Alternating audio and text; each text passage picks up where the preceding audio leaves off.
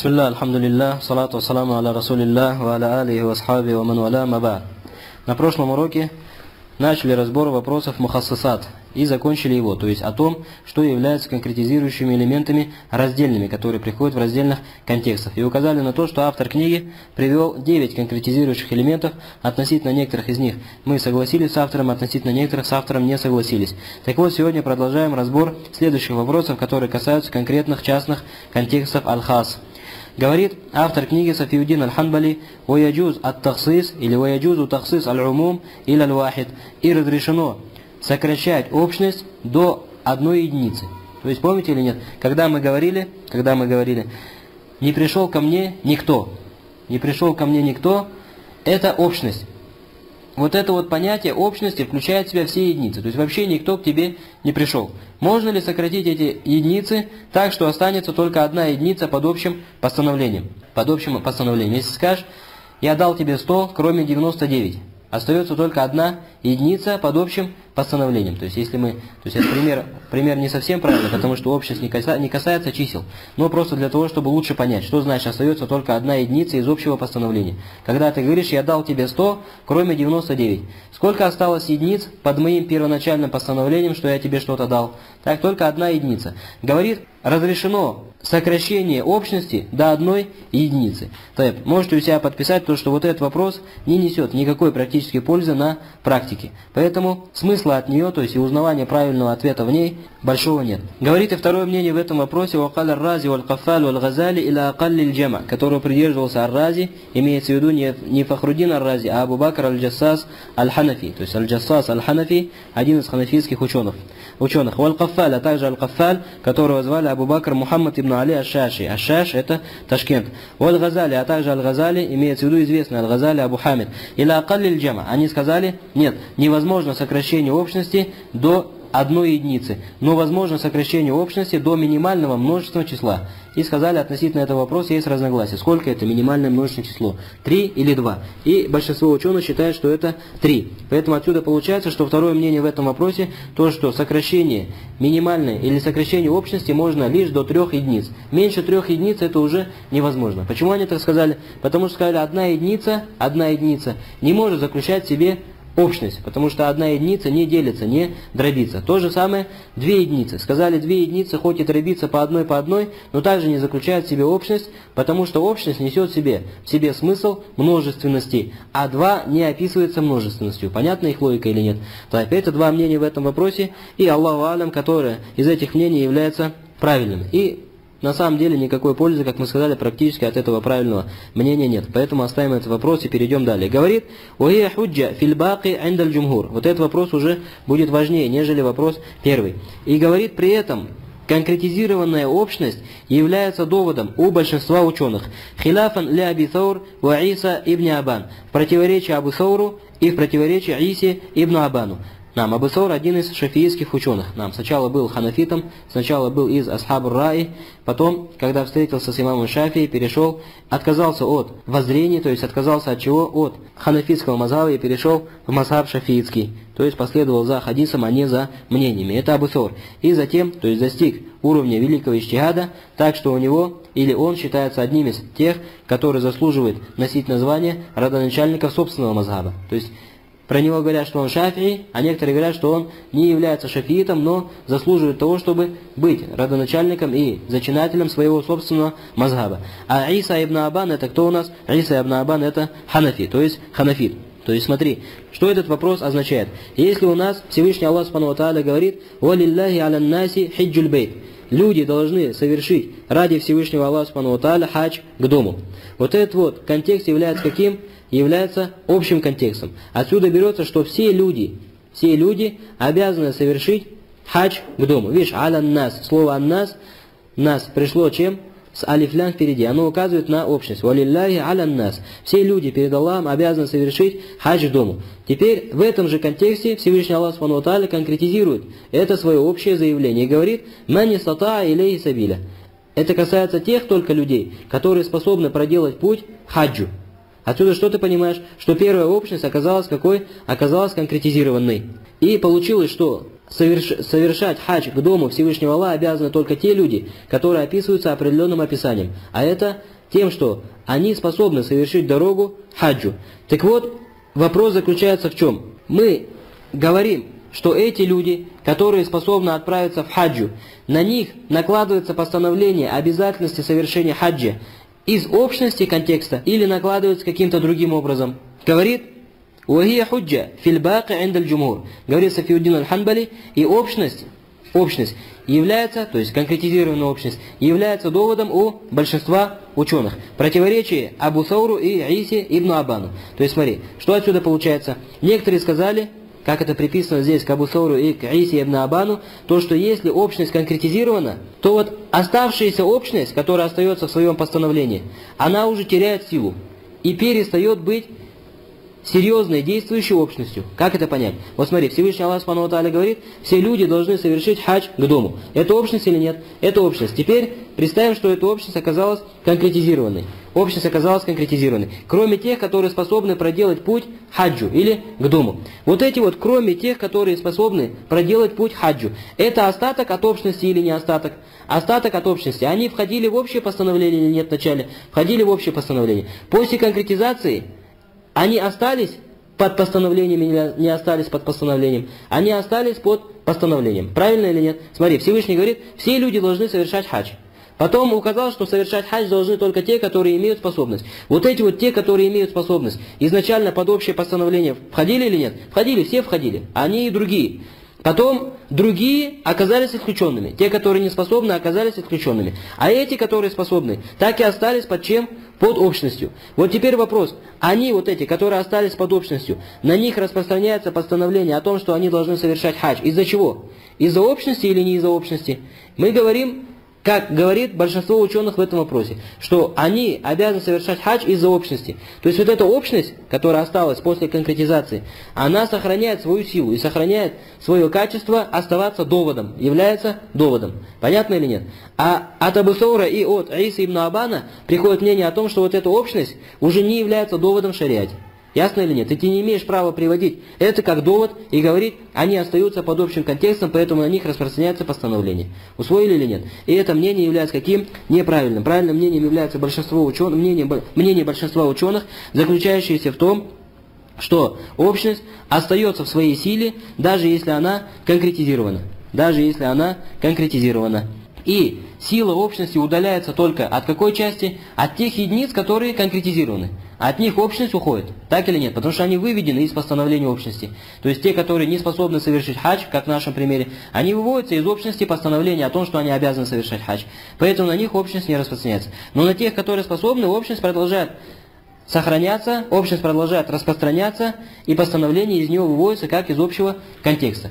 И относительно этого следуют все правила, которые мы применяем к общим контекстам. Это, иншаллах, усвоили. И это мнение является верным, так что даже имам Ашаукани сказал относительно этого «ля шакка фиги ва ля шубха». А это, относительно этого нет никакого сомнения, и этого сомнения быть не может.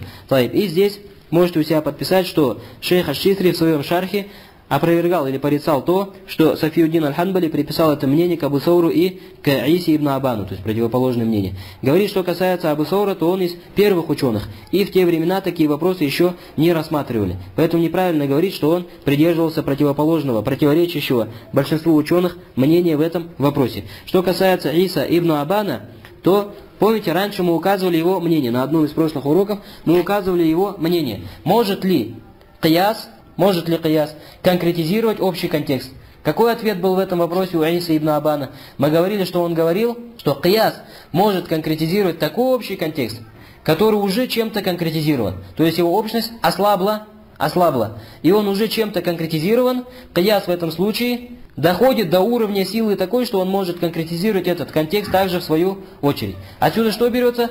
Что он оставляет общность на своей силе или оставляет общность в действии, даже после того, как она конкретизирована. Таиб, как будто бы непонятно. Так, давайте относительно Аиса ибн Абана разберем заново. Смотри, Аиса ибн Абан, к нему имам Софиудин Аль-Ханбали приписал мнение, что якобы Аиса ибн Абан говорит, что если общность является конкретизированной, то все, общность перестает действовать. То есть, как будто бы этой общности вообще никогда не было. Она не берет как называется, силу общности, все, она не является общим контекстом. Мы говорим это неправильно, это мнение приписать к Исе ибн Абану является неправильным. Потому что на прошлом уроке мы же сами про Иса ибн Абана что говорили? В вопросе, может ли Кияс конкретизировать общий контекст, Аиса ибн Абан говорил, да, Кияс может конкретизировать общий контекст, если он уже конкретизирован чем-то другим. Почему так? Помните, мы говорили? Потому что он говорил, Кияс не может конкретизировать общий контекст сам по себе, потому что общий контекст слишком силен, чтобы Кияс смог его конкретизировать. Но он может его конкретизировать только если эта общность ослабла тем, что она уже конкретизирована чем-то другим. То есть, помните, во время книги «Усуль мин усуль» мы брали эти два понятия. Ничем не конкретизированная общность и общность, которая конкретизирована чем-либо. Какая из общностей сильнее, а какая слабее? Общность, которая осталась на своей общности и ничем не раздроблена, ничем не конкретизирована, мы говорили, сильнее, чем та общность, которая ослаблена уже конкретизацией, которая пришла к ней с разных сторон. Так или нет? Так вот здесь Аиса ибн Абан взял эту логику. Говорит, кияс – это слабый довод. Он не может конкретизировать общность, которая ничем не конкретизирована, потому что она слишком сильна. Но общность, которая уже чем-то конкретизирована, кияс может ее конкретизировать, потому что эта общность уже слаба. Отсюда ты понимаешь, что Иса ибн Абан считает конкретизированную общность за довод, но просто считает за довод какой? Ослабленный. Он не говорит, что он вообще не довод и вообще не действует. Он говорит, нет, действует, но действует ослабленно. Слабее, чем та общность, которая не конкретизирована ничем. Ясно или нет? В общем, итог то, что приписывание этого мнения к Иса ибн Абану является неправильным. И он тоже считал, что общность после конкретизации остается остается как довод и действует как довод, хоть он и является ослабленным. То, что он является ослабленным, с этим мы не спорим. Мы действительно говорим, что общность, которая чем-то конкретизирована, слабее, чем общность, которая не конкретизирована ничем. Да, этот вопрос, иншалла, ясен. Далее говорит о Мингу и из этой же главы аль-истисна. То есть автор книги Сафиудин аль-Ханбали, когда говорит из этой же главы, либо имеет в виду из главы Мухассасат, из главы конкретизирующих элементов, либо имеет в виду из полезного каляма. То есть раньше, помните, еще далеко, за несколько уроков до этого он начинал главу или начал раздел «Калям аль-калям уль-муфид». Что такое полезное слово? И приводил под ним разные разделы. Возможно, он возвращает это слово к далекому, а возможно, возвращает к близкому. И может быть, что он возвращает к близкому, что истисна это из мухассасат. В действительности истисна это из конкретизирующих элементов. Но оно из конкретизирующих элементов каких? Муттасиля, лейсат мунфасиля. То есть, которые приходят в самом контексте сразу же, а не отдельно. То есть, до этого он приводил 9 конкретизирующих элементов, которые являются какими? Мунфасиля, приходящими отдельно от контекста, который конкретизируется. Мы говорили, что он не упомянул, какие? Он не упомянул муттасиля, совместные конкретизирующие элементы, как исключение или как условие, как описание и тому подобное. Да, вот теперь он начинает разъяснять истисна. То есть не, не как отдельный раздел, а просто заодно по пути. Так, говорит у Амину аль-истисна. И из этой же главы аль-истисна, то есть исключение. Как мы говорили и брали определение того, что такое истисна, говорили то, что естественно в арабском языке это что такое? Это аррадду или ауду ашей или балды шей или балдыхи. Это возвращение части вещи к ее второй части. То есть как бы завивание. Так, как бы завивание. От этого слова слово аль-истисна, слово сунья или от слова сани. А в терминологии, как мы говорили, что такое истисна? Говорили, истисна это ихраджу балда афрадиль ам би илля уихда ахаватиха. Это когда ты исключаешь некоторые единицы общего контекста посредством использования частицы илля, кроме или одной из ее сестер, как Сиуа или Гайру или что-либо подобное. То есть, если ты говоришь, ко мне пришли студенты, кроме Зайда. Здесь ко мне пришли студенты являются чем? Общим контекстом. Так, потом приходит, кроме Зейда, вот это является чем? Исключением из общего контекста. Это исключение является ничем иным, как конкретизацией. Понятно или нет? Или если ты говоришь, ко мне не пришел никто, кроме Зейда. Ко мне не пришел никто, кроме Зейда. Это тоже является чем? Конкретизацией общего твоего первого заявления. Таиб. Так вот, говорит, «Вагуа кауль». Что такое истисна? Теперь автор книги будет давать определение тому, что такое истисна. Говорит «Вагуа каулюн», а это слово, это слово, и этим самым автор книги Софиудин Аль-Ханбали хочет указать на то, что в основном у ученых усулюль считается, что исключение производится только словесно. Либо частицы илля, либо сива, либо гайру и тому подобное. Но можете отметить, что некоторые из ученых усулюль говорят, что иногда происходит исключение посредством акля, посредством разума. То есть иногда приходит какое-то общее заявление, но исходя из разума ты, появля... ты понимаешь, что эта общность не остается на своей общности, но из нее есть определенные исключения. Как Всевышний говорит, Аллаху халику кулли Аллах создатель всякой вещи. Мы говорим, Аллах создатель всякой вещи, но сам он сюда не входит. То есть он исключается из этого понятия, из этой общности. Отсюда, откуда мы сделали такое исключение? Говорят, сделали, сделали из этого чего? Из этого аята исключение посредством разума. Посредством разума, а не посредством непосредственно частицы, которая была бы в этом аяте. Так вот, говорит истисна, это что такое? Кауль, это слово. Муттасилюн. Что значит муттасилюн? С которой приходит в самом же контексте. Как мы сказали, ко мне не пришел никто, запятая, кроме Зайда. То это кроме Зайда пришло тут же, в этом же предложении. Ядуллю. И на что оно указывает, это исключение? Это, говорит, слово, которое приходит в самом же контексте, и указывает оно на что? Аля анналь мазкура мааху. То, что упомянутое вместе с ним, гайру мурад бил каулил ауаль, не имеется в виду в первом заявлении. Смотри, это определение, которое дал Софиудин Аль-Ханбали. И это определение нам не нравится. Мы остаемся на определении шейха Ибн Усаймина. И сейчас разъясним, почему. Смотри, Софиудин Аль-Ханбали говорит, что исключение это такое слово, такое слово, которое приходит в самом же контексте, в котором приходит общее заявление, и это слово указывает на что? На то, что вот это, то, что пришло с этим словом, не имелось в виду первоначальной общности. Понятно или нет? То есть, если ты говоришь, если ты говоришь, не пришел никто, кроме Зейда. Где у нас исключение? У нас исключение кроме. Что такое кроме, исходя из, из определения Софиудина Аль-Ханбали? Это, говорит, такое слово, которое пришло прямо в общем контексте. Видишь, не пришел ко мне никто, кроме. Таиф. И оно указывает на то, что что пришло вместе с ним, а в данном случае Зейд, в данном случае Зейд, кроме Зейда, не имелось в виду в первом общем заявлении. Ко мне не пришел никто, кроме Зейда. То есть отсюда получается из определения Софиуддина Аль-Ханбали, что человек, когда говорил «ко мне не пришел никто», изначально предполагал, что Зейд-то все-таки к нему пришел. И не имел в виду Зейда под своим первоначальным заявлением. Понятно или нет? Так, отсюда мы говорим, что данное определение нам не нравится. Почему? Потому что когда мы изучали книгу «Усуль мин ильмин усуль», мы разбирали вопрос, является ли условием действительности исключения то, чтобы человек изначально предполагал, еще при общем заявлении, что исключаемое не подпадает по его общее заявление. То есть, допустим, если человек говорит, все мои рабы свободные, все мои рабы свободные, Потом подумал, подумал и говорит, подожди, как же я без Зейда-то буду? Зейд-то мне хорошо прислуживал. И потом говорит, кроме Зейда. Кроме Зейда. Смотри, исключение вот этого Зейда. Человек при произношении своего общего заявления «все мои рабы свободны». Исключение Зейда он уже имел в виду, или потом только подумал, подумал и решил его исключить. Мы говорим, в данном случае человек не думал вообще про Зейда, но собирался освободить всех рабов. И сказал, все мои рабы свободны. И Зейда, или про Зейда, он подумал только потом. И догадался о нем только потом. И исключил его позже, после того, как уже общее заявление свое сделал. Вот это правильно или нет? Так, теперь вопрос, можно ли сказать, что Зейд все равно уже освобожден, и его исключение не является действительным? Нет, мы говорим, его исключение остается действительным, даже если он Зейда сначала не предполагал, как исключение из общего своего заявления. А из определения Софиуддина Аль-Ханбали получается, что исключение не будет таковым, кроме как если человек изначально предполагал, что исключаемое он не имеет в виду. Вот это ясно или нет?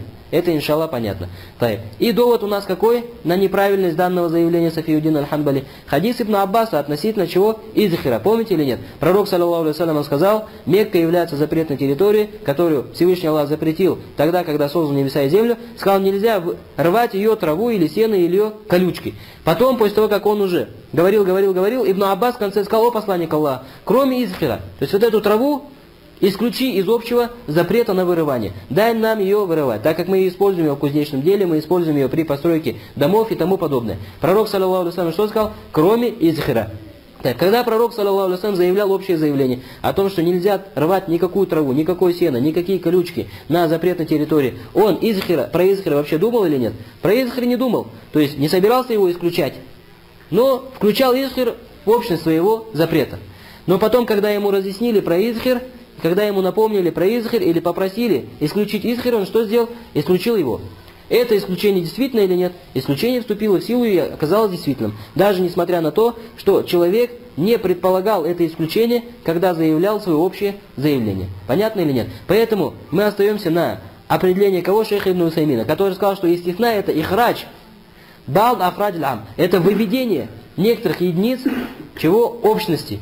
Так, би илля ау ахаватиха, посредством использования частицы илля, то есть кроме или ее сестер. Видишь, из этого определения уже не понимается такого обуславливания, чтобы исключаемое обязательно сначала предполагалось и тому подобное. Вот это, иншаллах, понятно. Тайп, этот вопрос ясен. Далее, говорит, фаюфари от тахсис бил иттисаль. Теперь, с этого момента, Софиудин Аль-Ханбали приступает к другому разбору, или к разбору другого блока вопросов. Говорит, фаюфари от тахсис бил иттисаль. Чем говорит? Истисна отличается от тахсиса. Чем истисна отличается от конкретизации? То есть, прежде чем разбирать этот вопрос, необходимо разъяснить или напомнить, о том, что, как это понять, чем естественно отличается от, конкретизации. Мы же сами говорили, что естественно это один из видов конкретизации. Как же он может отличаться от конкретизации, если он сам является одним из его видов? Здесь Софиудин Аль-Ханбали, когда говорит, чем естественно, чем исключение отличается от конкретизации, имеет в виду, чем исключение отличается от конкретизирующих элементов мунфасиля, которые приходят отдельно от контекста которые приходят отдельно от контекста. Вместе с тем, что всем понятно, что естественно сама является одним из видов конкретизации, но просто является конкретизацией какой? Совместной, которая приходит в общем контексте, вместе с контекстом. Говорит, так вот, чем отличается исключение от таксиса? Говорит Билиттисаль. Во-первых, тем, что иттисаль происходит. То есть исключение приходит муттасилян, сразу в том контексте, из которого ты хочешь что-то исключить. В отличие от других видов конкретизации мунфасиль, раздельных. Они приходят отдельно от контекста. Говорит, «Уататаррукихи иля нас каашара иля салята». Это второе исключение. Первое исключение, иншалла, понятно, ничего. Или, точнее, первое отличие и исключение от других конкретизирующих элементов, это понятно, ничего сложного нет. Теперь второе. «Уататаррукихи иля нас каашара иля салята». Говорит, а также отличается тем, что исключение возможно применить относительно нас явного контекста. Возможно исключить, возможно применить относительно нас явного контекста. А явный контекст, как, например, 10. 10 кроме трех. 10 кроме трех. Ты сказал, я дал тебе 10 реалов кроме трех. Или отдам тебе 10 реалов кроме трех. Это явный контекст или неявный? Мы сказали, что числа указывают на явность. То есть их невозможно понять. 10, если ты говоришь 10, невозможно понять ни 9, ни 8, ни 11, ни 12. А понимаешь именно 10. Это явный контекст. Тайп. Говорит, исключение возможно относительно явного контекста. Ты можешь сказать, я отдам тебе 10 реалов, кроме трех. Это позволительно. А что касается, говорит, других мухассасатов, других конкретизирующих элементов, то они не способны. Что делать? Не способны конкретизировать явные контексты. Но способны конкретизировать только какие контексты? Контексты захир, контексты внешние. Нам это не абсолютно, но в большинстве случаев. То опять вопрос также, иншаллах, понятен. Что значит «вот это руки или нас»? и то, что исключение может касаться явных контекстов. Дальше. Это то, чем отличается исключение от других конкретизирующих элементов. Автор назвал сколько? Назвал два пункта. Далее. «Ваюфарикун насх». А чем он отличается от аннулирования? То есть, исключение подобно или похоже на аннулирование или нет? Чем-то похоже. То есть, когда ты говоришь, я отдам тебе 10 реалов, кроме трех. Ты как бы аннулируешь свою общность. Правильно или нет? и оставляешь общность только на семи и исключаешь ее от трех. Когда ты говоришь, я отдам тебе 10 реалов, из этого понимается, что ты отдашь именно 10. Но, тогда, но когда ты говоришь, кроме трех, отсюда понимается, что будет отдано только 7, а уже не 10. То есть происходит своего рода аннулирование. Но автор книги говорит, не нужно путать между исключением и между аннулированием, потому что между этим и этим есть разница. Какая разница? Ваюфарикан нас билиттисаль. Первая разница в том, что исключение опять-таки приходит в самом контексте. Сразу же в самом контексте. А аннулирование не может приходить в самом же контексте. Оно приходит позже этого контекста. Помните, мы говорили, одним из условий аннулирования является то, чтобы аннулирующий аят или хадис приходил по временному промежутку позже, чем аннулированный аят или хадис. А исключения нет. Исключение, наоборот, обуславливается, чтобы оно было в самом контексте. Смотри, условием аннулирования является то, чтобы оно не было в самом контексте. А условием исключения, наоборот, является то, чтобы оно было в этом же самом контексте. Дальше говорит, «Вабианну мани лидухуль маджаза духулюху, ваннасх рафиун лима дахаля». А также второе отличие, исключение от аннулирования, то, что исключение воспрещает, воспрещает войти под общую или под общий контекст некоторым единицам. Ты говоришь, я отдам тебе 10, кроме трех. Вот это вот исключение воспрещает вхождению трех единиц под 10. И остается только 7. А аннулирование, это, говорит, не воспрещение, но это поднятие постановления полностью поднятие постановления единовременно. То есть то маня запретительный фактор, а этот рафия поднимающий. То есть немножко сложно, возможно, это понять, так как это связано немножко с языком. Что знаешь маня, что знаешь рафия, какая разница между ними. Тайп. Говорит то, что исключение занимается чем маня? Запретительством.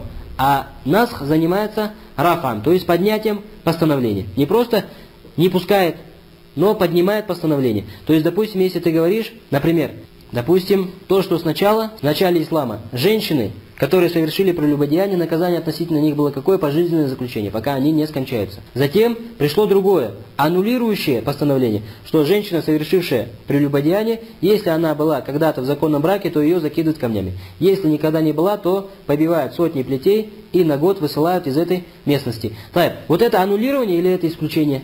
Мы говорим аннулирование, это не исключение. Почему не исключение? Потому что в данном случае, смотри, не происходит такого, что что-то, какие-то единицы у нас воспрещаются под заход или воспрещаются к заходу под общее постановление. Потому что это два разных совершенно постановления. Здесь заключение, а здесь побивание камнями. То есть побивание камнями не является частью заключения. Так, чтобы сказать, что мы что-то здесь исключили. Так или нет? Другое дело, когда ты говоришь, но происходит при аннулировании что? Поднятие постановления. То постановление полностью поднялось и ушло и пришло на замену другое постановление. А когда ты говоришь об исключении, об исключении, то здесь уже есть понятие какое? Есть понятие воспрещения единиц. Воспрещение входа единиц под общее постановление. Я отдам тебе 10 реалов, кроме трех. Вот эти три единицы, они способны войти под 10 или нет? В своей основе входят под 10 или нет? В своей основе входят под 10. Но так как есть исключение, вот это исключение является запретительным фактором, который не дает этим трем единицам подойти под 10, зайти под 10. А здесь, смотри, закидывание камнями изначально не входит в понятие заключения пожизненное. Так или нет? Совсем две разные вещи. Поэтому про аннулирование не говорят, что оно занимается запрещением одного, запрещением входа одного под второе. Это, иншаллах, усвоили. Вот эта разница, вторая между исключениями, между чем? Между аннулированием. Теперь третье. Говорит, «Уабианну раф'ун лиль ба'д, уан раф'ун лиль джами». И третье исключение, то, а третья разница, то, что исключение говорит, что делает? Выносит из общего постановления часть единиц, а аннулирование выносит из общего постановления все единицы. То есть полностью аннулирует это общее постановление, приходит с другим постановлением. Это усвоили или нет? Это также усвоили. Это, иншаллах, легко. Вот в этом последнем, иншаллах, ничего сложного нет. И что касается вопроса аннулирования, то относительно этого придет еще целый отдельный раздел. Далее говорит, «Уашартуху алиттисаль». Теперь переходит автор книги к перечислению условий действительности исключения. Эти вопросы мы тоже рассматривали где при рассмотрении книги «Усуль мин аль усуль». Говорит, и условием действительности исключения является то, чтобы он был муттасыль, то, чтобы он был какой? Муттасыль. То есть, чтобы исключение произошло тут же, при приведении общего контекста. То есть, если ты говоришь, я освободил всех своих рабов, а потом через неделю говоришь, кроме Зейда, вот это исключение будет действительно или нет? исключение будет недействительным. Почему? Потому что твое исключение не произошло в этом же разговоре, не произошло тут же при заявлении общности. Понятно, что значит иттисаль? И иттисаль, как мы говорили, бывает какой? Бывает хакики, а бывает хукми. Хакики действительное исключение, действительное совместность. То есть, когда ты говоришь, все мои рабы свободны, кроме Зейда. Здесь исключение приходит какое? Хакики, то есть иттисаль приходит совместность, действительная, настоящая. Но когда ты говоришь, я исключил всех своих рабов, а потом начал кашлять и полминуты кашлял, после кашля говоришь, кроме Зейда. Это исключение действительно или нет? Оно действительно. Но это совместность, исключение с общим контекстом. Она настоящая или только в постановлении? Только в постановлении, потому что в действительности произошел разрыв между заявлением общности и между исключением. Разрыв произошел какой? Посредством кашля. Поэтому эта совместность, она хоть и есть, но она не настоящая, она какая? В постановлении лишь. Так вот, условием действительности исключения является то, чтобы вот эта вот совместность присутствовала. Будь то настоящая или хотя бы в постановлении. Смотри. «Фаля явсилю бейнухума сукут юмкин аль-калям фиги». То есть, что значит совместность? Говорит так, чтобы между заявлением общности и между исключениями из общности не было такого молчания, которым человек был способен разговаривать. То есть как это понять? Я говорю, все мои рабы свободны. Потом молчу 3-4 минуты. Между тем, что могу разговаривать в эти 3-4 минуты. Не кашлю, не зеваю, не чихаю, ничто мне не мешает говорить. Молчу 3-4 минуты, потом говорю, кроме Зейда. Кроме Зейда. Говорит автор книги, здесь исключение будет недействительным. Будет недействительным. Почему? Потому что человек мог разговаривать, мог исключить сразу из общего контекста, но не исключил. При том, что его, ему ничего не мешало. Так, говорит, у Ахуки этот вопрос мы сейчас зачитаем, потом приведем или напомним более правильное мнение в этом вопросе. У Ахуки ан ибн Аббас Адаму иштиратихи. А от ибн Аббаса, говорит, передается то, что данные условия, то есть необходимость совместности исключения с с, общим, с общим контекстом, не являются условием действительности исключения. То есть приходит от Ибн Аббаса, что он говорит, даже если ты исключишь через месяц или через год, или до конца твоей смерти твое исключение является действительным. Такое пришло от Ибн, Аббаса. Другое, другой вопрос, то что есть сомнения в действительности этого, этой передачи от Ибн Аббаса. В одном из иснадов Лейс Ибн Аби Сулейм слабый передатчик, в других иснадах тоже есть слабые передачи. Теперь третье мнение в этом вопросе, то что приходит от Ата ибн Аби а также от Хасан аль-Басри, то что вопрос зависит от маджлиса. Если ты находишься до сих пор в одном маджлисе, то ты можешь исключать. А если вы с маджлиса уже разошлись, тогда ты исключать не можешь. То есть, если ты договариваешься с каким-то человеком и говоришь ему, я продал тебе 10 гектаров своей земли, кроме двух гектаров, которые находятся на западной части. Например, на западной части участка. Такое исключение действительно или нет? Действительно, в этом разногласий нет. Теперь, если я говорю, я продал тебе 10 гектаров земли. Потом наш маджлис продолжается. Наш маджлис продолжается. И в конце маджлиса через полчаса я сказал, подожди, два гектара, которые на западе, которые на западе, я исключаю. Я тебе их не продаю. Говорят, такое исключение является действительным. Такое исключение действительно является. Мы скажем, что это мнение не совсем правильное. Не совсем правильное. Относительно него сейчас мы также приведем правильное мнение после окончательного разбора этой, этого вопроса в книге. Нам. Запишите у себя, что этого мнения, вот этого третьего, кроме Ата ибн Абирабаха и кроме Хасан аль-Басри, придерживался также шейх Ислам ибн Таймия. Шейх Ислам ибн Таймия, а также один из ревиатов от имама Ахмада. А также это один из ревиатов от имама Ахмада. Что касается нашего примера, который мы привели, в данном случае исключение будет правильным. Почему? Потому что это касается торговой сделки. Мы говорили, пока торговая сделка идет, и маджлис еще не закончился, человек может ставить различные условия, что-то исключать, что-то дополнять и тому подобное. Нам необходимо было привести, может быть, другой немного пример. То есть, если, допустим, ты говоришь, я освободил всех своих рабов, тебе это сказал, мы продолжаем находиться в маджлисе. И через полчаса перед выходом из маджлиса я тебе сказал, кроме Зейда. Зейда я не освобождаю. В данном случае такое исключение будет правильным или нет? В этом есть тавсиль. Оно может быть правильным, а может быть неправильным. Если в этом маджлисе наш разговор продолжался на эту же самую тему, мы все разговаривали, допустим, про рабов и тому подобное, про их освобождение, и потом в этом же разговоре я исключил, сделал исключение кроме Зейда, то это исключение правильно. Если же после того, как я сказал, я своих всех рабов освобождаю, наш маджлис продолжается, но при этом разговор у нас пошел уже в другую другое русло, мы начали разговаривать совсем на другие темы, то здесь уже в конце маджлиса не пойдет сказать, кроме Зейда. Понятно или нет? Почему? Потому что здесь тема поменялась. Хоть маджлис и продолжился. Ясно или нет? Значит, суть не в маджлисе, а суть в теме разговора. Если тема разговора остается одной, одной, то можно делать исключение. Если тема разговора поменялась, то все, исключение является недействительным. Является недействительным. Говорит Вакад аума или Ахмаду фил ямин. И говорит, имам Ахмад тоже склонился в этом или к этому мнению в вопросах ямин, в вопросах клятвы. То есть говорит имам Ахмад то, что если ты в одном маджлисе поклялся на что-либо, а потом в конце этого маджлиса сказал иншаллах, допустим, так, то это твоя клятва, ты не обязан поступать в соответствии с ней. Так говорит имам Ахмад в одном из мнений от него. И давайте после изучения этого вопроса тем, что написано в книге имама Софиудина Аль-Ханбали, приведем окончательное мнение. Это мнение заключается в том, что мы разбирали в книге «Усуль мин ильмин усуль». Говорили, если, здесь может быть две ситуации. Если человек прервал свое заявление общее и не сделал сразу исключение из-за вынужденности, допустим, начал кашлять, или начал зевать, или начал чихать, и тому подобное. Или его кто-то отвлек, или его кто-то позвал, или крикнул ему что-то, и он отвлекся. И потом только что сделал, и потом только или упал, допустим, в обморок, или потерял сознание, или любое другое вынужденное молчание. А потом, после этой вынужденности, когда к нему при, пришел ихтияр, то есть способность по выбору сделать исключение, он его сделал, то это исключение является действительным. То есть, если человек сказал, все мои рабы свободны, потом начал кашлять, потом сказал, кроме Зейда, это исключение является каким? Действительным.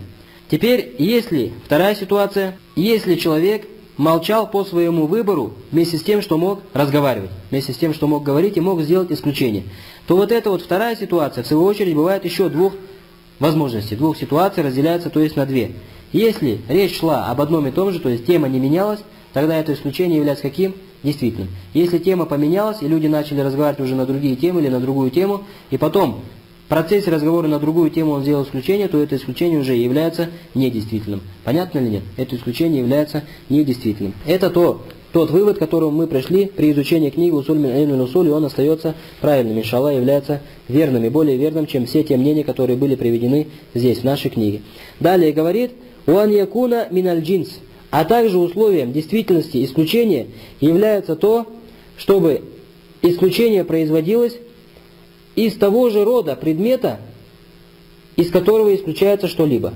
То есть, если ты скажешь, я должен тебе тысячу реалов, кроме одной рубашки. Такое пойдет или нет исключение? То есть, смотри, исключение происходит не из рода исключаемого. То есть, что является исключаемым или что является тем, из чего исключают деньги? А что является исключаемым? Рубашка, то есть ткань, так, или какой-то какой вид одежды. Так вот, говорит, «Уан якуна миналь джинс». Следующее условие действительности исключения, чтобы исключение производилось из того же рода, из чего исключается. Так, из того же рода, из чего исключается. Вабии каля баду шафии. Это мнение некоторых шафиитов. У Абу Ханифа, у баду мутакаллимин. И второе мнение в этом вопросе, это мнение имама Малика, а также Абу Ханифа, а также некоторых философов. Лейса бишарт. То, что это не является условием. То, что это не является условием. И данное второе мнение является более правильным в этом вопросе. То есть не является условием, чтобы ты исключал из того же рода, из чего исключается. Понятно или нет? То есть если ты скажешь, если ты скажешь, я должен тебе тысячу реалов, кроме одной рубашки. Здесь что происходит? Смотрится, сколько эта рубашка стоит в реалах. Стоит она, допустим, 300 реалов. Исключается 300 реалов, и я обязан отдать тебе 700 реалов. Понятно или нет? Да, и довод на это какой? Довод на это некоторые из аятов Корана, как, например, слова Всевышнего Аллаха, «Ля ясмауна фи аллахван илля салама».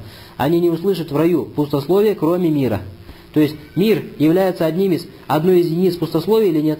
Нет, не является одной из единиц пустословия. То есть исключение происходит не из того же рода, из чего исключается. Говорит, они не услышат там пустословие, кроме мира, то есть кроме слов салям, салям, мир вам, мир вам и тому подобное. Слово салям не является пустословием. Несмотря на это, Всевышний Аллах Субхану исключил его из пустословия. Исключил его из пустословия. Это говорит о том, что разрешено исключать то, что не является тем же родом из того, из чего исключается. Вот этот вопрос ясен или нет? Это, иншаллах, вопрос также понятен. Тайб говорит, «Уан якун аль мустасна акаль минан нысф». Теперь третье условие – чего? Из условия действительности исключения, чтобы исключаемое было меньше половины того, из чего исключают. То есть, если ты скажешь, я должен тебе 10 реалов, кроме трех, это исключение будет верным или нет? Это исключение будет верным. Но если ты скажешь, я должен тебе 10 реалов, кроме 8, говорит, это исключение уже будет неправильным. Почему? Потому что условие, чтобы исключаемое было не больше половины, чем то, из чего исключают. Это одно из мнений в этом вопросе. Это мнение ханбалитов. Это мнение ханбалитов. Говорит Уафин Нысфи Ваджхан. А что касается половины, есть два мнения, то есть у ханбалитов. То есть если ты говоришь, я должен тебе 10 реалов, кроме пяти. Вот это мнение, а, нам, вот это исключение является действительным или нет, говорит в этом вопросе у ханбалитов два мнения. Некоторые сказали, что это исключение действительно, а некоторые сказали нет. Уаджаз аль-аксарун аль-аксар. А большинство ученых, то есть кроме ханбалитов, разрешают исключать даже больше, чем половину. То есть если скажешь 10 кроме 6, говорят, такое исключение является правильным, является действительным. Здесь запишите правильное мнение в этом вопросе. Правильное мнение в этом вопросе заключается в том, что в данном случае, то есть соответствие или нам соответствие исключаемого в отношении того, из чего исключают, может быть четыре ситуации здесь. Если, из, если исключение меньше половины того, из чего исключают. Как если ты говоришь, я должен тебе тысячу, кроме двухсот. Здесь запишите у себя без разногласий, что такое исключение является действительным. Вопрос ясен? Первая ситуация. Когда исключаемое меньше половины того, из чего исключают. Я должен тебе 10, кроме трех. Три меньше, чем 5. 5 это половина исключаемого э, того, э, пол, меньше нам. 5 это половина того, из чего исключают. В этом случае исключение действительно без разногласия. Второе, когда исключают все. Когда говорят, я должен тебе 10, кроме 10. Запишите у себя то, что данное исключение не действительно также единогласно. данное исключение недействительно единогласно. И человек остается обязанным 10. Если он говорит, я должен тебе 10, кроме 10. Так данное слово считается пустословием, и его исключение не является действительным, не принимается во внимание, как будто бы он не делал никакого исключения. Третья ситуация, если исключается половина, я должен тебе 10, кроме 5, правильное мнение, что такое исключение является верным. И четвертая ситуация, когда исключается больше половины, я должен тебе 10, кроме 7. Правильное мнение в этом вопросе, то, что такое исключение тоже является действительным. Говорит имам Шаукани в своей книге «Шадуль Фахуль», ничего не запрещает нам сказать о действительности такого исключения. И после того, как мы разобрали эти четыре ситуации, у нас выяснилось, что исключение является правильным в любом случае. Кроме как, если исключается полностью все. Если ты говоришь 10, кроме 10, тогда неправильно, а все остальное является верным и действительным. И запишите у себя то, что разбор этих вопросов, то есть относительно условий действительности исключения является мало полезным, то есть от него пользы мало. Почему? Потому что исключения бывают двух видов. Либо исключения, которые приходят в шариатских контекстах, все эти исключения являются действительными. Никто не может сказать, что это исключение шариатское не является действительным, не соответствует чему-то и тому подобное. Нет, все они являются действительными. Или же исключения ставят люди, когда заключают какую-то сделку или договора или что-либо подобное. Здесь вопрос уже возвращается к чему? Вопрос возвращается к обычаям людей на самом деле. То есть, если в обычаях людей принято, что исключение 7 из 10 не является действительным, то оно не будет действительным. Даже если мы говорим, что оно действительно в основе. Оно действительно в основе, но в обычаях людей, допустим, какой-то местности это неправильно и считается неправильным разговором не считается за действительное правильное исключение. Понятно или нет? То есть в этих вопросах в любом случае возвращение идет к обычаям. Вот эти вопросы, они затрагиваются во, во многих вопросах фиха, вопросах клят, вопросах таляка, вопросах никаха, вопросах других сделок торговых и так далее. И во всех них мы возвращаемся к чему? К обычаю на самом деле, а не к тому, что здесь установили мы. Понятно или нет? Это, иншалла, ясно. Так, если же обычая никакого нет, тогда возвращаемся уже, да, к этому. Тогда возвращаемся к тому правильному мнению, которое мы установили здесь. Таиб. Говорит далее. Теперь важный вопрос. А если, говорит, исключение пришло сразу после нескольких предложений, то исключение касается всех этих предложений. Можете записать то, что это мнение большинства ученых. Говорит, «Уакал аль-ханафия» и сказали ханафиты «Иля аль-акраб». То, что исключение касается только последнего предложения. То, что исключение касается только последнего предложения. И запишите, что в этом вопросе есть еще третье мнение. Третье мнение, которое заключается в том, что необходимо приостановиться. И нельзя выносить постановление, что исключение возвращается только к последнему предложению или возвращается ко всем предложениям. Как его понять? То есть смотри, если ты говоришь, если ты говоришь несколько общих предложений. Смотри, говоришь, я освободил своих рабов, и я развел своих жен. Сколько предложений? Два. Потом говоришь, кроме праведных из них. Кроме праведных из них. То есть отсюда что получается? Вышло разногласие. Вот это исключение, кроме праведных из них, возвращается только к твоему последнему предложению, которое ты произнес прямо перед ним, или возвращается к обоим предложениям, которые ты произнес. То есть если мы скажем, что возвращается ко всем предложениям, которые до исключения, получится, я освободил своих рабов, я развел своих жен, кроме праведных из них, то есть кроме праведных рабов, я их не, я их не освободил. Кроме праведных жен, я их не развел. Ясно? А если мы скажем по мнению ханафитов, что исключение возвращается только к последнему предложению, получается, что все мои рабы, все мои рабы освобождены. Без разницы, праведные они или нет. Но исключение касается только жен, что разведены все, кроме праведных из них. Понятно или нет? Вот этот вопрос важный или нет? Этот вопрос является важным. Его суть усвоили или нет? Его суть, иншаллах, усвоили. Так вот, запишите у себя доводы большинства ученых, которые говорят то, что исключение возвращается ко всем предыдущим предложениям, а не только к последнему. Доводы их следующие. Во-первых, киясун аля шарт, аналогия исключения на условие. То есть, если ты ставишь условие, смотри, говоришь, мои жены разведены и мои рабы свободны, если Зейд начнет разговаривать со мной. Здесь ты поставил исключение или поставил условие? Здесь ты поставил условие. Если произойдет так-то, то произойдет то-то. Это исключение. А это условие. Так вот, в условии, в условии нет сомнения, что условие возвращается ко всем предложениям, не только к последнему, возвращается ко всем предложениям. Сказали то же самое, касается исключения, как аналогия на что? На условие. Если условие возвращается ко всем, то и исключение должно возвращаться ко всем. Это первый довод большинства ученых. Второй довод большинства ученых – это единогласное мнение ученых арабского языка. То, что повторять исключение после каждого отдельного мелкого предложения является некрасноречивым в арабском языке.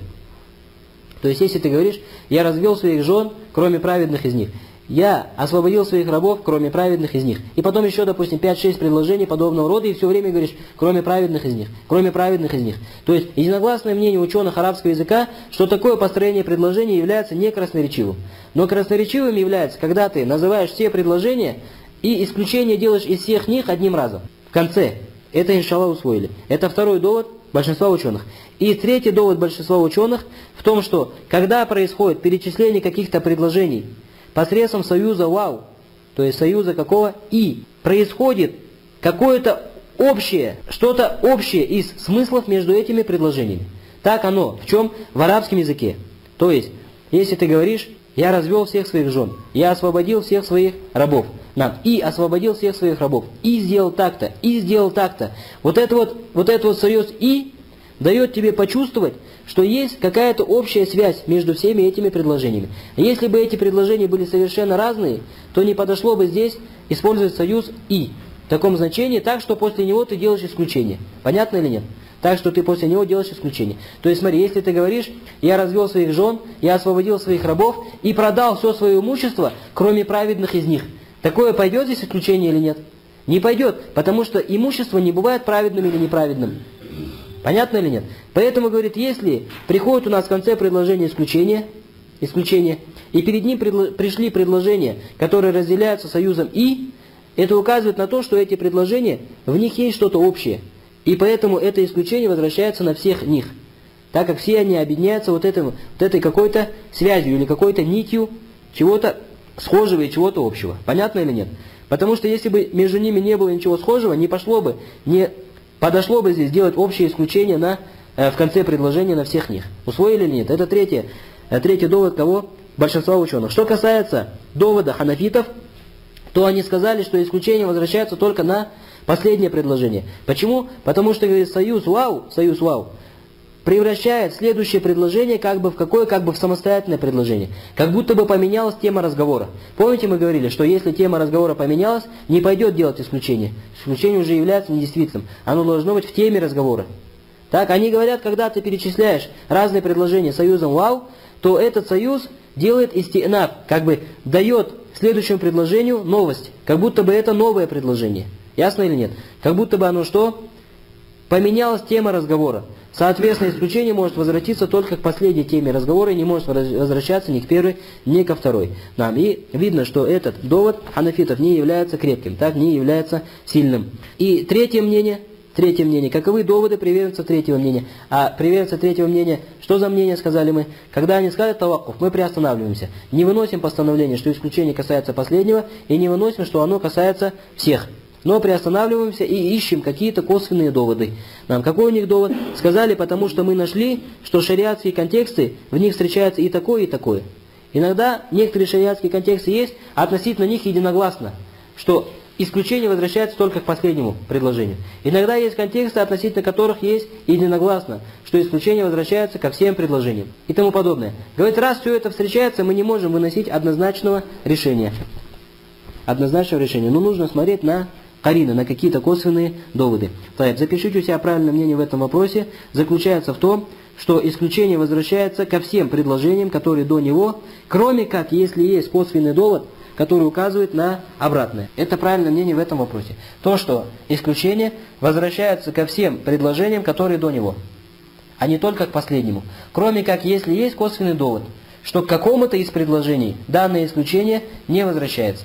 Как в нашем примере. Если мы говорим, я освободил своих рабов, я развел своих жен, и я продал все свое имущество, или я подарил все свое имущество, кроме праведного из них, или кроме праведных из них. А здесь уже понятно, есть косвенный довод, что твое исключение возвращается только на что?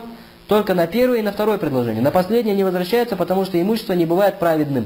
Так или нет? Тем более, что ты сказал, кроме праведных, слово праведных дает тебе почувствовать, что речь идет о чем-то живом, как о рабах или о женах и тому подобное, а не о чем-то неживом. Усвоили или нет? Знаешь, здесь уже есть косвенный довод, который тебе подсказывает, что в данном случае на последнее предложение не возвращается, но возвращается на первое и второе и тому подобное. И давайте приведем здесь один пример для того, чтобы это, этот блок или этот раздел стал более явен. Смотри, Всевышний Аллах в Коране говорит, «Валладина ярмун аль-мухсанат, сумма лам яти биарбаати шухада», а те, которые обвиняют, просто пока послушайте, чтобы запомнить этот пример. Потом вернетесь, может быть, дома его сами запишите. Главное его запомнить. А те, которые обвиняют мухсанат, то есть благочестивых женщин, то есть в чем прелюбодеяние, а потом не приводят четырех свидетелей, то относительно них следующее. Фажлидухум саманина джальда, то побейте их 80 плетьми. Это первое постановление относительно них. Валя такбалю лахум шахадатан абада.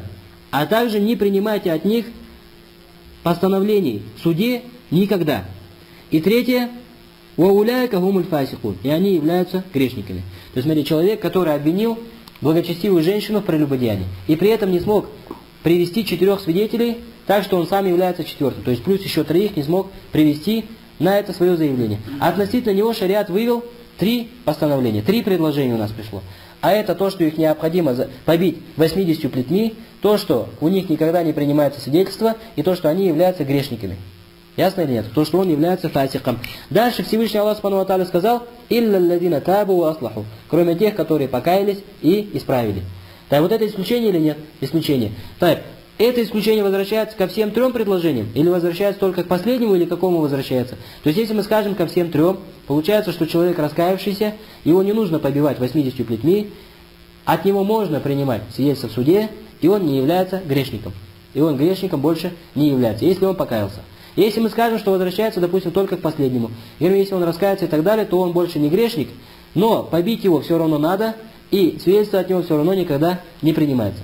Понятно или нет? Видишь, разница есть? То есть важно, этот вопрос является важным, потому что от этого зависит постановление во многих вопросах шариата. Такое, такая форма преподнесения постановлений Всевышнего Аллаха Субхану его посланника встречается часто шариатских контекстах, поэтому необходимо в этом вопросе разобраться. Так вот, смотри, что касается именно этого нашего примера, то единогласное мнение, единогласное мнение, что данное исключение не возвращается к первому предложению. Все равно 80 плетьми его побить нужно. Почему? Потому что его раскаяние – это между ними, между Аллахом. Но честь женщины он задел. Поэтому за эту честь его нужно что сделать? Отомстить. И его побить 80 плети нужно. Плетьми нужно. Понятно или нет? Потому что честь женщины задета.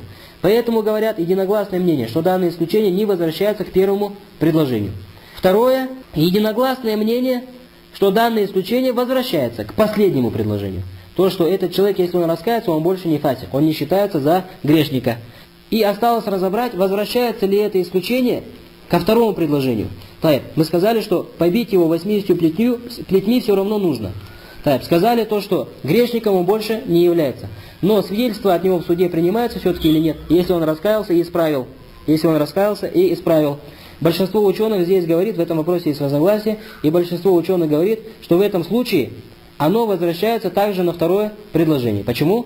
Потому что большинство ученых говорит, что исключение возвращается на все предложения, кроме как если пришел косвенный довод, что на какое-то предложение не возвращается. Поэтому, исходя из нашего примера, получается, что исключение возвращается к последнему и ко второму предложению. Но к первому не возвращается. Почему? Из-за наличия единогласного мнения, что к первому оно не возвращается. В данном случае единогласное мнение является чем? Косвенным доводом. Косвенным доводом.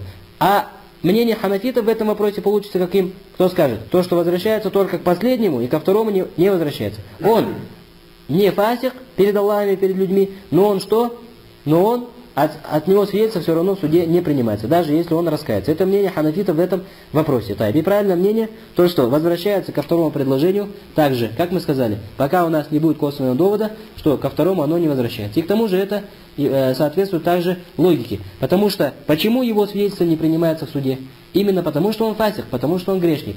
А так как от него ушло описание грешности, соответственно, ничего не мешает принять его свидетельство в суде. Этот пример усвоили или нет? Это, иншаллах, пример усвоили. И давайте разберем последнее предложение, и на этом завершим главу о вопросах или о контекстах хас, частных контекстах. «Вагуа минал избат нафи, ва нафи избат», говорит Софиудин Аль-Хамбали, и исключение из утверждения является отрицанием, а исключение из отрицания является утверждением.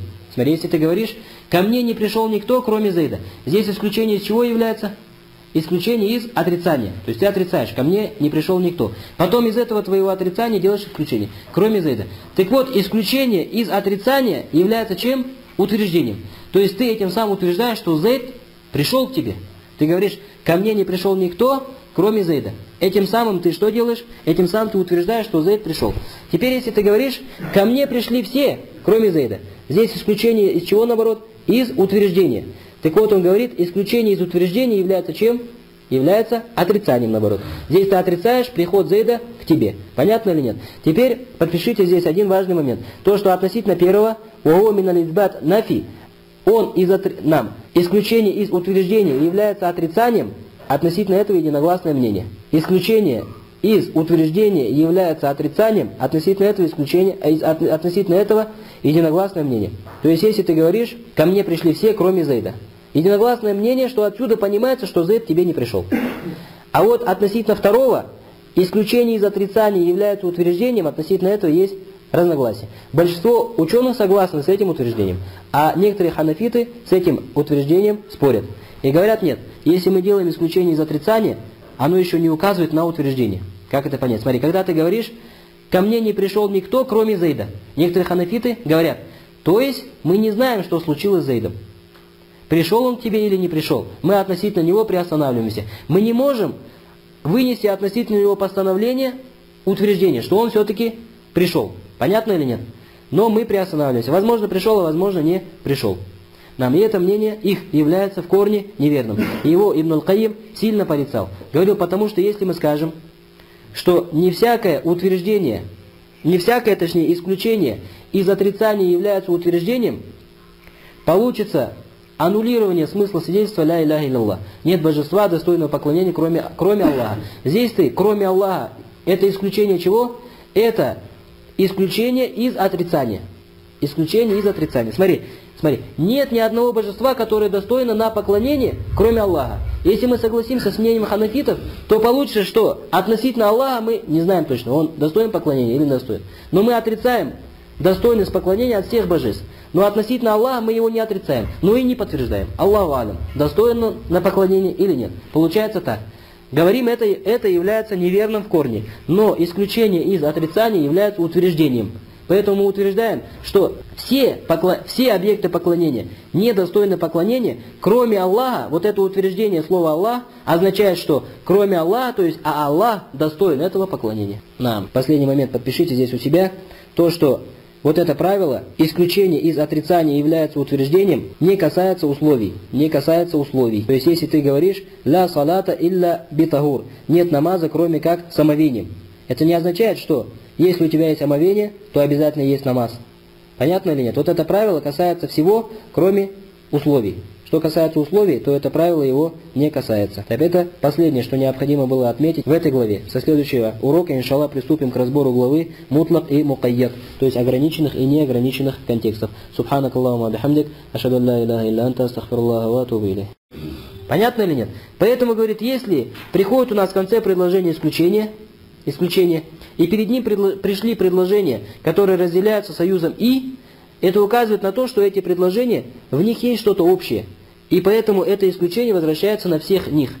Так как все они объединяются вот, этим, вот этой какой-то связью или какой-то нитью чего-то схожего и чего-то общего. Понятно или нет?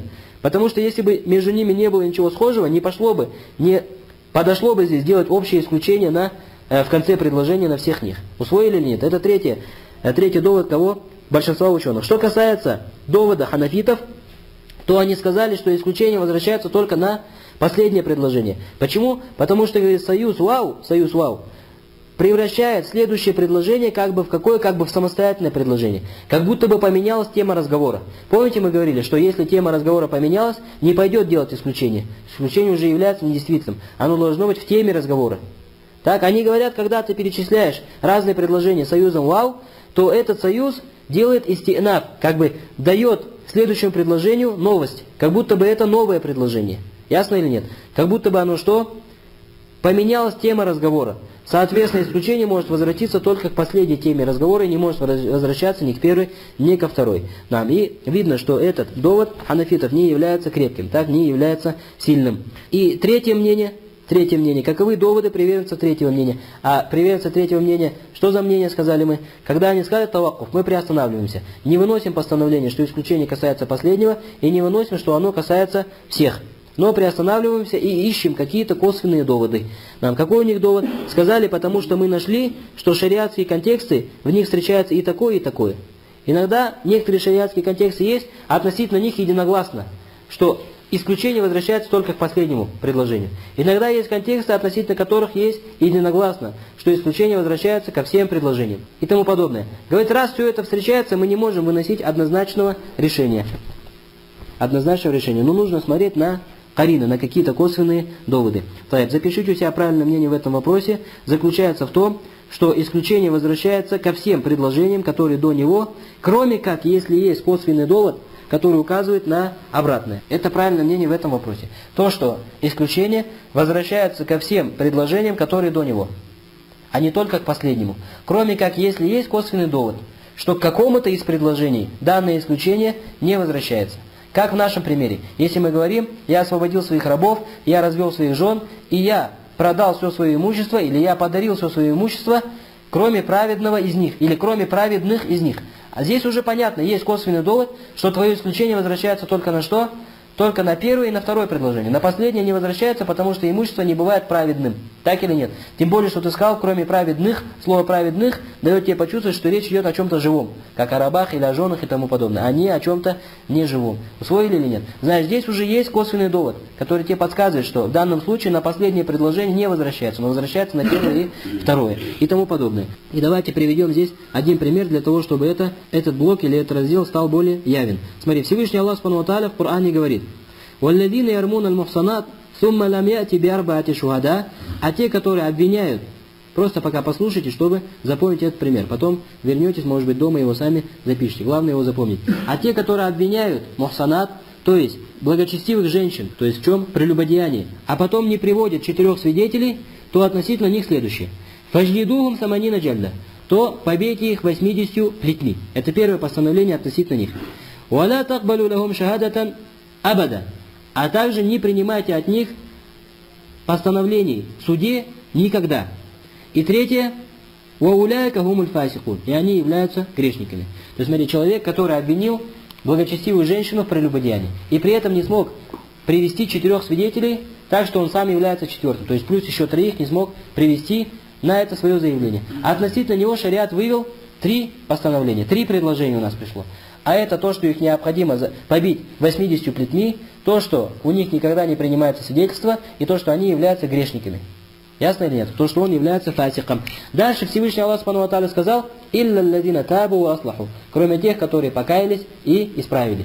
Так вот это исключение или нет? Исключение. Так, это исключение возвращается ко всем трем предложениям, или возвращается только к последнему, или к какому возвращается? То есть, если мы скажем ко всем трем, получается, что человек раскаявшийся, его не нужно побивать 80 плетьми, от него можно принимать свидетельство в суде, и он не является грешником. И он грешником больше не является, если он покаялся. Если мы скажем, что возвращается, допустим, только к последнему, или если он раскается и так далее, то он больше не грешник, но побить его все равно надо, и свидетельство от него все равно никогда не принимается. Понятно или нет? Видишь, разница есть? То есть важно, этот вопрос является важным, потому что от этого зависит постановление во многих вопросах шариата. Такое, такая форма преподнесения постановлений Всевышнего Аллаха Субхану и его посланника встречается часто в шариатских контекстах, поэтому необходимо в этом вопросе разобраться. Так вот, смотри, что касается именно этого нашего примера, то единогласное мнение, единогласное мнение, что данное исключение не возвращается к первому предложению. Все равно 80 плетьми его побить нужно. Почему? Потому что его раскаяние – это между ними, между Аллахом. Но честь женщины он задел. Поэтому за эту честь ему нужно что сделать? Отомстить. И его побить 80 плети нужно. Плетьми нужно. Понятно или нет? Потому что честь женщины задета. Поэтому говорят единогласное мнение, что данное исключение не возвращается к первому предложению. Второе, единогласное мнение, что данное исключение возвращается к последнему предложению. То, что этот человек, если он раскается, он больше не фасик, он не считается за грешника. И осталось разобрать, возвращается ли это исключение ко второму предложению. Так, мы сказали, что побить его 80 плетню, плетьми все равно нужно. Так, сказали то, что грешником он больше не является. Но свидетельство от него в суде принимается все-таки или нет, если он раскаялся и исправил. Если он раскаялся и исправил. Большинство ученых здесь говорит, в этом вопросе есть разногласие, и большинство ученых говорит, что в этом случае оно возвращается также на второе предложение. Почему? Потому что большинство ученых говорит, что исключение возвращается на все предложения, кроме как если пришел косвенный довод, что на какое-то предложение не возвращается. Поэтому, исходя из нашего примера, получается, что исключение возвращается к последнему и ко второму предложению. Но к первому не возвращается. Почему? Из-за наличия единогласного мнения, что к первому оно не возвращается. В данном случае единогласное мнение является чем? Косвенным доводом. Косвенным доводом. А мнение ханафитов в этом вопросе получится каким? Кто скажет? То, что возвращается только к последнему и ко второму не, не возвращается. Он не фасик перед Аллахом перед людьми, но он что? Но он от, от него свидетельство все равно в суде не принимается, даже если он раскается. Это мнение ханафитов в этом вопросе. Так, и правильное мнение, то, что возвращается ко второму предложению, также, как мы сказали, пока у нас не будет косвенного довода, что ко второму оно не возвращается. И к тому же это э, соответствует также логике. Потому что, почему его свидетельство не принимается в суде? Именно потому, что он фасик, потому что он грешник.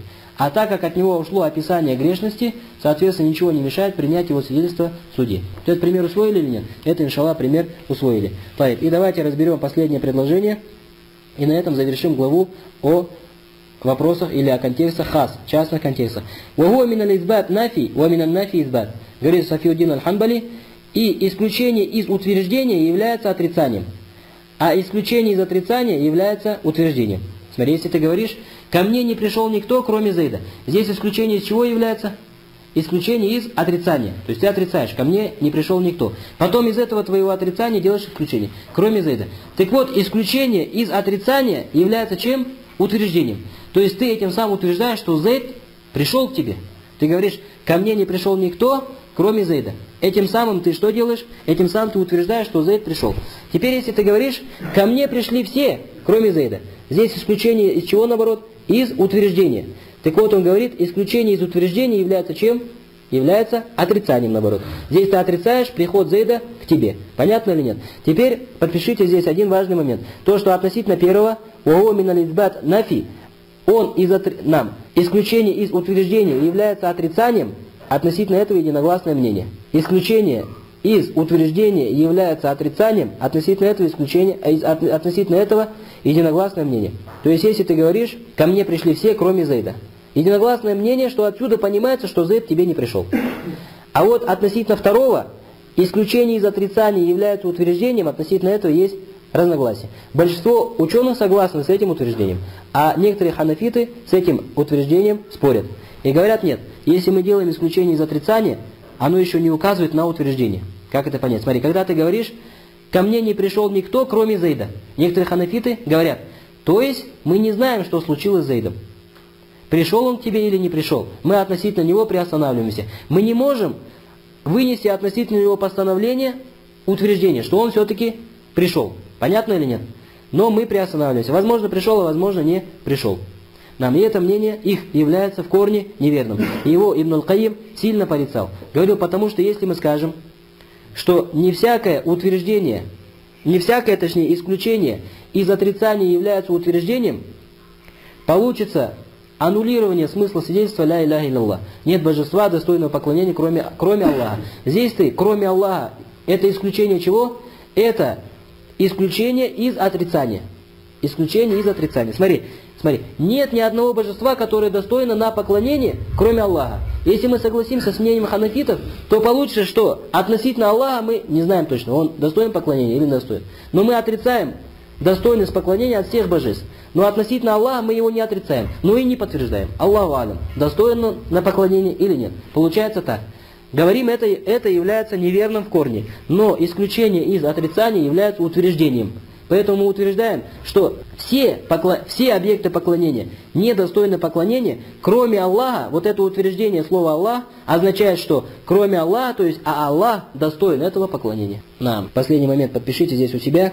То, что вот это правило, исключение из отрицания является утверждением, не касается условий. Не касается условий. То есть, если ты говоришь «ля салата илля битагур» – нет намаза, кроме как самовением. Это не означает, что если у тебя есть омовение, то обязательно есть намаз. Понятно или нет? Вот это правило касается всего, кроме условий.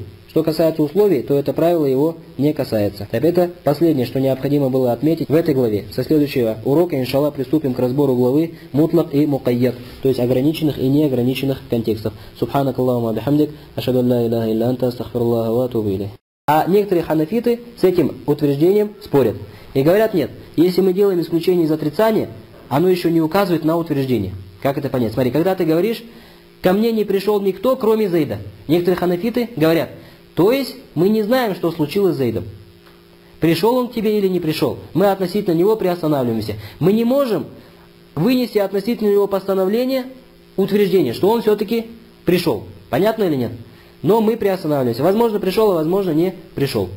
Нам и это мнение их является в корне неверным. И его Ибн Аль-Каим сильно порицал. Говорил, потому что если мы скажем, что не всякое утверждение, не всякое, точнее, исключение из отрицания является утверждением, получится аннулирование смысла свидетельства «Ля иляха илlallah». Нет божества, достойного поклонения, кроме, кроме Аллаха. Здесь ты, кроме Аллаха, это исключение чего? Это исключение из отрицания. Исключение из отрицания. Смотри, смотри, нет ни одного божества, которое достойно на поклонение, кроме Аллаха. Если мы согласимся с мнением ханафитов, то получится, что относительно Аллаха мы не знаем точно, он достоин поклонения или не достоин. Но мы отрицаем достойность поклонения от всех божеств. Но относительно Аллаха мы его не отрицаем, но и не подтверждаем. Аллаху алям, достоин на поклонение или нет. Получается так. Говорим, это, это является неверным в корне, но исключение из отрицания является утверждением. Поэтому мы утверждаем, что все, покло... все объекты поклонения недостойны поклонения, кроме Аллаха. Вот это утверждение слова Аллах означает, что кроме Аллаха, то есть а Аллах достоин этого поклонения. Нам. Последний момент подпишите здесь у себя. То, что вот это правило, исключение из отрицания является утверждением, не касается условий. Не касается условий. То есть, если ты говоришь «ля салата илля битагур» нет намаза, кроме как самовением. Это не означает, что если у тебя есть омовение, то обязательно есть намаз. Понятно или нет? Вот это правило касается всего, кроме условий. Что касается условий, то это правило его не касается. Это последнее, что необходимо было отметить в этой главе. Со следующего урока, иншаллах, приступим к разбору главы мутлак и мукайят, то есть ограниченных и неограниченных контекстов. Субханак Аллахума бихамдик, ашаду ла илля анта, астахфирлаха ва атубу битагур. Нет намаза, кроме как самовением. Это не означает, что если у тебя есть омовение, то обязательно есть намаз. Понятно или нет? Вот это правило касается всего, кроме условий. Что касается условий, то это правило его не касается. Это последнее, что необходимо было отметить в этой главе. Со следующего урока, иншаллах, приступим к разбору главы мутлак и мукайят, то есть ограниченных и неограниченных контекстов. Субханак Аллахума бихамдик, ашаду ла илляха илля анта, Неограниченных контекстов. Субханак Аллахума бихамдик, ашаду ла илляха илля анта, атубу